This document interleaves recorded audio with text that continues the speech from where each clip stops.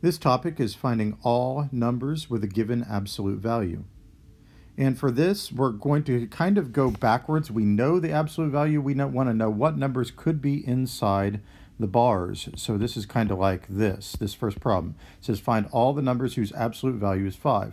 So I want to know all the values of x that are 5 units from 0. Well, that would be x could be positive 5 or it could be negative 5. Both positive 5 and negative 5 are 5 units from 0. And remember, that's what these absolute value bars mean, how far from 0. For this one, we want all the values of x whose absolute value is 3. So x could be positive 3, but it also could be negative 3. Both of them are 3 units from 0. And one more example, we want all the values of x whose distance from 0 is negative 9.